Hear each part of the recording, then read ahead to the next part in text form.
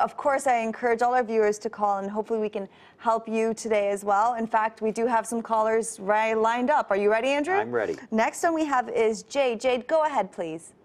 Hi, yes, I have a child who is going to be turning 18 in a couple of months, and I do have sole custody. Um, it was left up to uh, the child whether he wanted to have any contact with uh, his father, and he has chosen not to do that. And we couldn't understand at the time why. It's a little complicated because um, my son uh, does have autism, and he has now um, come along verbally to the point where he has disclosed. Um, I'm going to use the word alleged, although it's been medically supported. Um, a very, very violent physical assault uh, upon him during a visitation with his father some years ago. Um, I would like to go back to court to get a divorce. Um, my husband has not cooperated in um, me trying to get a divorce before, which cost me almost $3,000. The custody cost me $11,000. And um, under the Divorce Act, I would like to try to uh, protect uh, my son by getting ongoing support because he has a disability and because he does still require uh, support for that disability. Um, unfortunately, legal aid uh, turned me down, although I do qualify, and I'm wondering if there's any other alternatives um, because of the seriousness uh, of this case and the implications uh, to the child.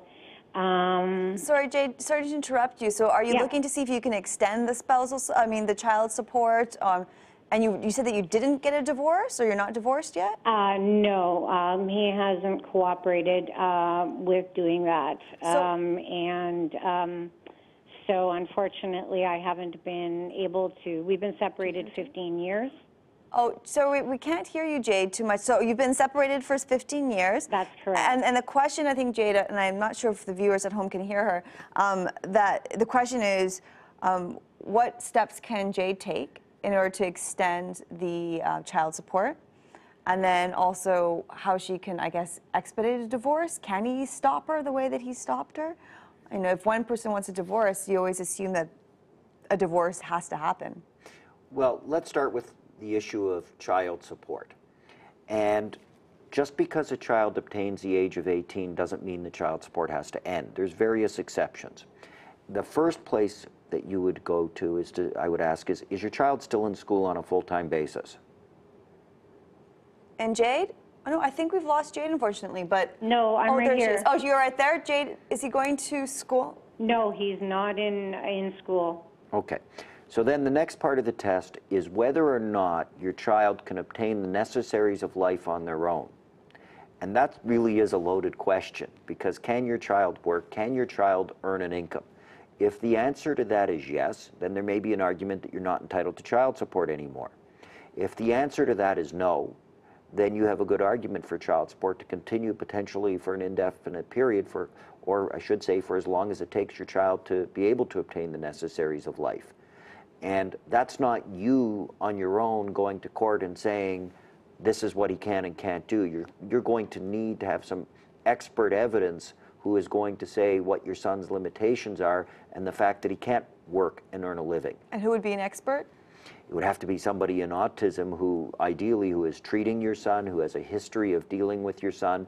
Because when you just go to a doctor one time, unless they're an expert in that field that has a referral from another medical pr practitioner, it doesn't sound as good as saying, here's the expert. I've been treating this child. I've been dealing with this child for a number of years. These are the recommendations. This is the progress. This is the plan. Uh, that type of in-depth report would be much better than just a one-time appointment, in my opinion. So that is something I would want to do. Now, to answer your second question about a divorce, you can claim an application for divorce uh, the reason why a divorce would usually not be granted would be because there's no reason, there are not reasonable arrangements for child support in place. And in your case, I think you seeking the divorce would make a difference and the fact that the children, uh, you separated 15 years ago.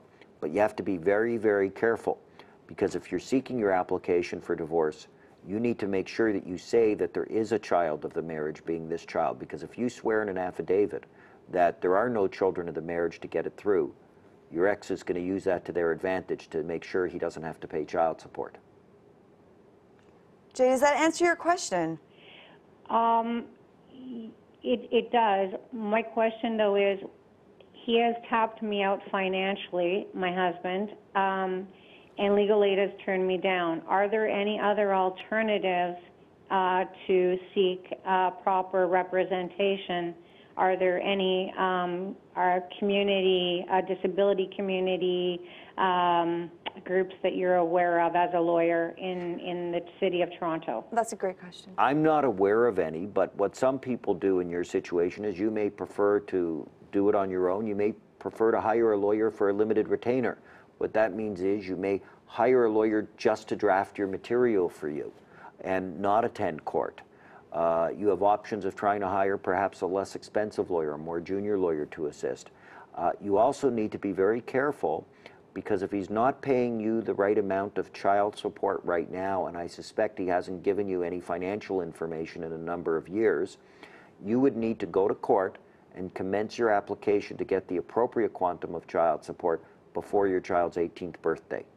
Because if your child is no longer a child after 18, you don't get any retroactive, it, it may be very difficult to claim the retroactive support. So you should do it right away if you're thinking about doing it in case you want to increase the support.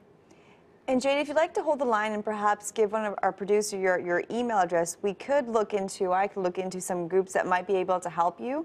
Um, there is the lawyer referral service, which I'll, I'll be sure to get to you as well, Jade, that can be useful. You get to speak with a lawyer for about 30 minutes. Um, they won't be able to represent you, but perhaps they could give, go into depth a little bit more and even provide some more access, Jade. So does that answer your question? Yes, and I really appreciate your help. Thank you. Good luck, Jade. And again, stay on the line and, and give someone your email address so we can help you further.